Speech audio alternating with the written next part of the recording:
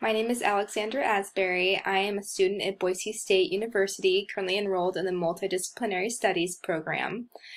It is a program geared towards non-traditional students, um, students who are unable to finish their degrees the first time uh, for any reason, uh, students who have significant life experience, work experience, uh, so it was definitely the perfect fit for me.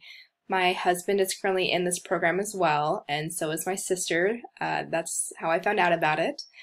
Uh, it is allowing me to finish my degree, get my bachelor's, uh, and they've accepted all of my transfer credits. Uh, and I'm also able to create the program that best fits my personal goals uh, and my career aspirations. Uh, I hope to go on to become a nurse after this. And this is allowing me to create the program that will best fit those needs.